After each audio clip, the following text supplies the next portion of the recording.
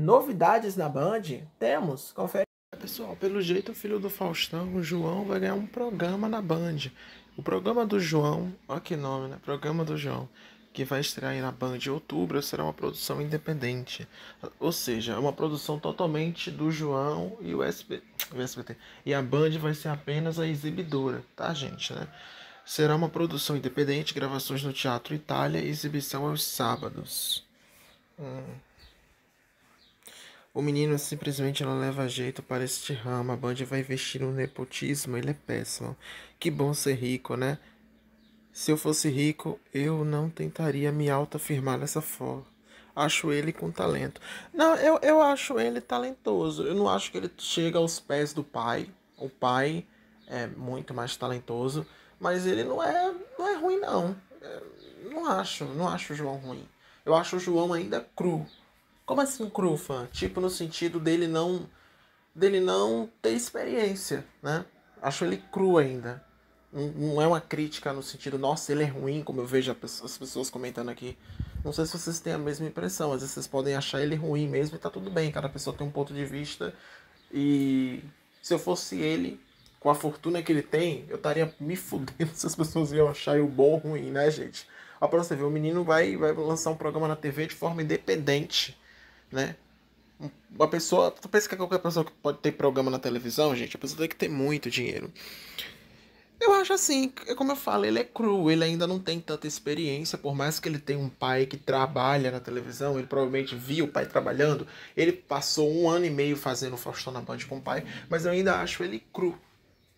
Ainda acho ele cru. Ah, mas ele fez um ano e meio de programa junto com o pai. Sim, gente, mas quem apresentava era o pai. Ele era apenas co-apresentador. Co-apresentador não é apresentador. Co-apresentador é apenas co-apresentador. É aquela pessoa que está lá apresentando. Por exemplo, vamos imaginar que se o atentado estivesse fazendo o programa junto comigo, né? O atentado estaria aqui falando umas coisinhas, mas ele não é o apresentador principal. Ele é apenas uma pessoa que está aqui comentando de vez em quando. Enfim, há uma diferença. Então vamos ver, né? Bem, além dele, tem um outro filho de um grande apresentador famoso que também vai ganhar um programa. Só não sei se vai ser de forma independente, que vai ser. Deixa eu explicar isso aqui, porque às vezes as pessoas não podem nem saber o que é programa independente. Programa independente é você fazer um programa com custo. No caso, o João que vai, vai pagar o, os estúdios para poder fazer o programa. Ou seja, ele vai fazer tudo. Toda a produção vai ser por conta dele. Apenas a Band vai retransmitir esse programa aos sábados. Ou seja, é uma produção barata, porque a parte pesada que é de custos de um programa, porque um programa na televisão, não sei se vocês sabem, mas um programa na televisão não é nada fácil, não é nada barato. É, é muito pesado para você sustentar uma programação de televisão. Imagina um programa. Então, ele vai pagar toda essa região aí, né? é, de, de problema para a Brand, né? Que é custar um programa. E ela só vai fazer. Eu acredito que esse programa deve passar naquela faixa que passava o Nós na Firma. Nós na Firma passava que, que, que qual era a faixa, hein, Vassa? Tu, tu que sabe a programação da Band aí. Se eu não me engano, era 8h20 da noite. 8h20? É por aí. Deve ser por aí mesmo, umas 8h20, 9 horas. É, tá, tá precisando de um programa realmente nessa faixa aí. Eu já bato nessa tecla há muito tempo. E eu acho uma faixa boa pra ele ir se aprimorando. Né? Hum, enfim, quem sabe não dá certo. Vamos pra próxima notícia. É, gente. Joões na Band. Meu Deus, o povo faz umas piadas que faz muito sentido. Segundo o R7, foi oferecido a João Augusto Liberato a mesma estrutura destinada ao programa do João, filho de Faustão, que está em outubro. O filho de Gugu vem negociando com a emissora para seguir os passos do pai e as conversas estão bastante avançadas, né? É, é Patrícia, é o filho do Gugu, é o filho do Faustão, agora vai virar realmente os, os filhos, né? Daqui a pouco é o, o Marcelo assumir na praça, enfim, é os filhos agora que fazem tudo pelos pais. no jogo não, porque já, já imaginou, gente, no futuro um filho meu assumindo esse negócio? Ai, Deus.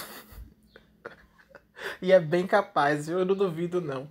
Enfim, meus amores, quem tem o sangue de comunicação passa para os filhos. É igual, por exemplo, tem muitos filhos aí que não seguem as carreiras artísticas do pai, ou do, da mãe, né? Ou dos pais se os pais são artistas também, o filho quer ser, se inspira, né? Admira, quer ser cantor também, quer ser apresentador, quer ser autor, enfim, né, gente? Quer ser, qualquer um pode ser. A questão é se tem talento. Né? Eu acho que falta pro João e falta o príncipe. O João até que nem tanto, que o João pelo menos passou aí um ano e meio com o pai, né, atentado. Ele fazia o programa do, do pai, é, ele fazia o programa do pai. Então ele pelo menos já sabe, fora os anos de bastidor também, ele já sabe como conduzir um programa. O Augusto eu já tenho minhas dúvidas, né? Seria interessante testar num projeto assim curto, né, gente? E programa de auditório eu acho ruim, porque vai que a pessoa não tem aquele talento desenvolto, né? Mas eu acho que um reality show, uma coisinha assim, um game show por temporada, é interessante, porque é um projeto fechado. Se dá errado, beijo, beijinho, pau, pau, enfim. o que vocês acham? Comentem aí, tá? Eu acho interessante, né? Mas acho que tem pessoas mais interessantes aí na mídia, né? Pra se explorar. Eu tô aqui, né, Band? O atentado tá lá no Ceará, não é atentado. Ô fã, eu ia amar fazer o jogo aberto com a Renata fã. tu ia gostar? Eu, oxe, imagina, fã. Eu, ela e o Demilson. Oh Deus, é o meu sonho. tu ia gostar? É. é. Hum, interessante. eu acho que tu ia se sair bem lá, né? Oxe, eu ia morrer de rir. Até amanhã.